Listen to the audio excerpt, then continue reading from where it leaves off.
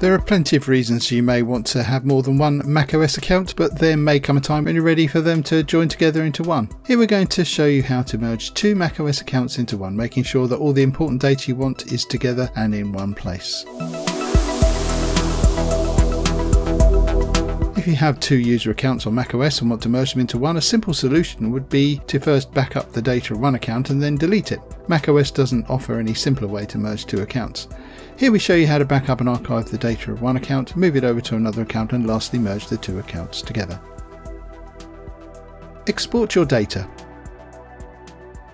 The method we'll use to merge both accounts relies on merging the local files present on the system. All the local files present in the user's home folder are saved in a disk image which can be accessed on the new account. Since the local files do not include any app backups, you'll need to export all of that separately.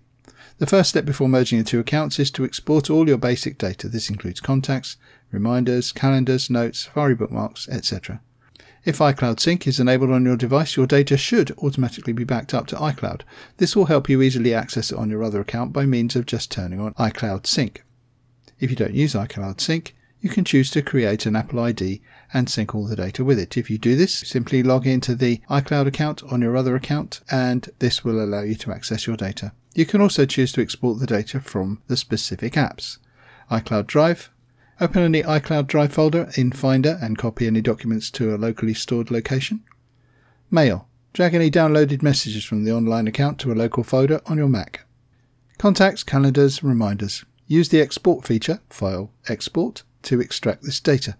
Safari. Select File, Export, Bookmarks. Notes. There's no built-in way of exporting the data, but you can use a free exporter, link in the description, to export your notes into a plain text format. Photos. The only method to transfer your photos library from one account to another is by syncing it through iCloud Photos. Merging two accounts into one. This method will merge the data of both accounts into one by deleting the old account and saving its data as a disk image. Hence it is recommended to make another backup of the data either on Time Machine or on a local drive before proceeding. This is to ensure that you don't lose any data unintentionally, of course. In the newer account, the one you want to keep, open the System Preferences on your Mac. Select Users and Groups. Once opened, click on the lock icon in the bottom left corner and enter in your administrative password. Select the user account you want to delete and merge with another. Click on the minus icon at the bottom of the list macOS will ask you how to proceed. Select Save the home folder in a disk image. Make sure you choose the disk image option. This will give you access to the files in it. Click Delete User and confirm. The second account will now be deleted. Now when you open the users directory, Finder, Go, Computer, Macintosh, HD and Users, you'll see a folder named Deleted Users. Within this folder you'll see a disk image with the name of the account you deleted. When you double click on the disk image to mount it, you'll be able to access all the files that are present in your home folder of the previous account. Similarly, you can copy the files over or import the data in any app that offers to bring the material over.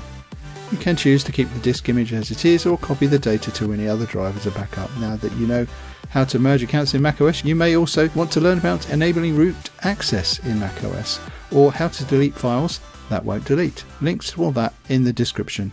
Okay, as always, thank you so much for watching.